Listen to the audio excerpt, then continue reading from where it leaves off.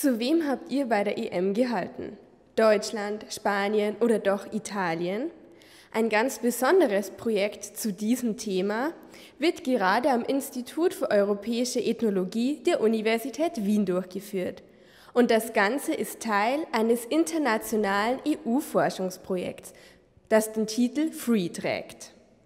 Die Idee für das FREE-Projekt kam eigentlich von Kollegen aus äh, verschiedenen europäischen Ländern, aus, äh, vor allem aus, von den Kollegen aus Frankreich und aus der Türkei, die so ein bisschen den Grundstock für das Projekt gelegt haben.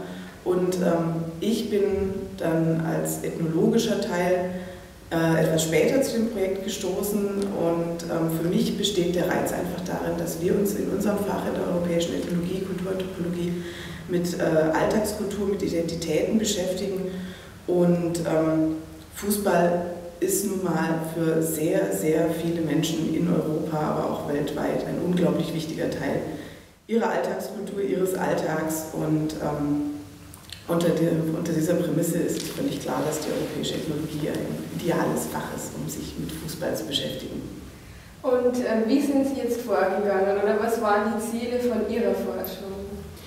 Wir in Wien, wir untersuchen speziell sekundäres Phantom, also das bedeutet inwieweit, ähm, inwieweit Fußballfans anderen Mannschaften auch ihre Unterstützung geben, weshalb Österreich ein besonders interessanter Untersuchungsort ist. Gerade bei der EM hat man jetzt auch gesehen, Österreich hat nicht teilgenommen, aber natürlich schauen Fußballinteressierte interessierte Personen trotzdem zu. Aber für welche Mannschaft sind sie? Sind sie für Deutschland? Sind sie für Spanien? Sind sie für Italien? Mhm. Und daran äh, versuchen wir herauszufinden, nach, welchen, nach welchem System läuft das ab, nach was für, nach was für Wahrnehmungsvorstellungen und nach was für Dynamiken werden solche Identitäten gebildet. Und gibt es schon ähm, Ergebnisse zur jetzigen EM oder zu wem halten die Österreicher tendenziell? Gibt es irgendwelche Muster? Hm, Ergebnisse haben wir jetzt in dem Sinne noch nicht. Wir hatten eine Feldforschungsgruppe für die mhm. Europameisterschaft, auch mit Studierenden hier vom Institut und hatten erst, äh, gestern haben wir uns alle gemeinsam wieder getroffen und ähm, so unsere Erfahrungen ähm, zusammengetragen und äh, sind da jetzt sozusagen noch in einem ganz frühen Stadium. Wir haben ja erst äh, am 1. April hier ähm, am Institut angefangen mit dem Projekt und wir sind noch so in der Sondierungsphase und haben da jetzt noch, noch keine konkreten Ergebnisse. Ja.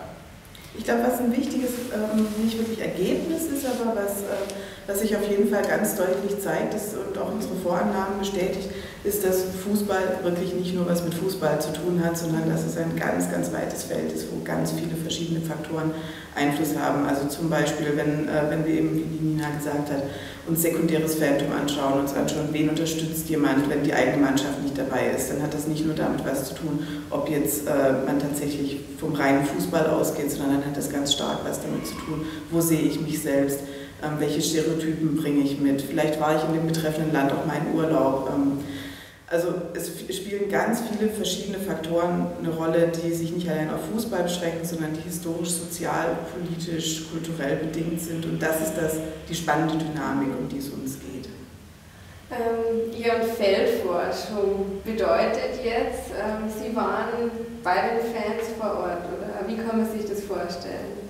Also unsere Forschungsgruppe, wir haben verschiedene Feldforschungen durchgeführt, in Polen, in Deutschland und in Österreich natürlich über die EM und ähm, das sieht dann wirklich so aus, dass wir teilnehmende Beobachtungen machen in Public Viewing Orten, in Kneipen, überall dort, wo Fußball irgendeine Rolle spielt und kommuniziert wird.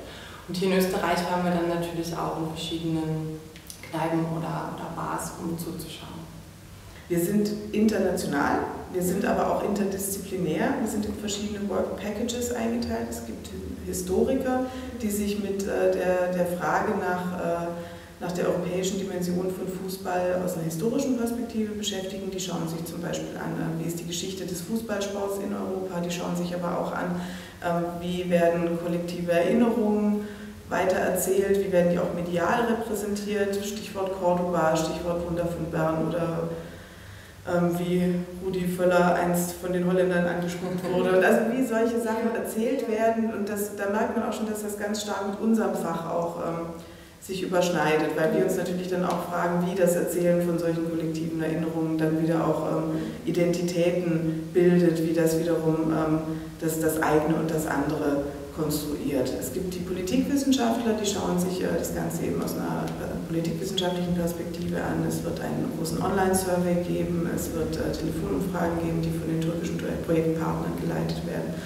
Dazu kommt, dass der ähm, britische Projektpartner, ebenfalls Politikwissenschaftler, sich das Ganze aus einer Governance-Perspektive anschaut, also das europäische ähm, Sportmodell, wo es dann eben auch um so Sachen wie ähm, Spielerverkäufe und inwieweit Fußball ähm, auch von der von EU-Seite oder von europäischer Ebene reguliert wird. Und dann gibt es die Soziologen, die sich es eben aus soziologischer Perspektive anschauen, darunter besonders ähm, Gertrud Pfister in Kopenhagen, die sich das aus einer Gender-Perspektive anschaut. Und dann gibt es eben uns und den polnischen Projektpartner in Poznan und wir sind das äh, Work Package Anthropology of European Food.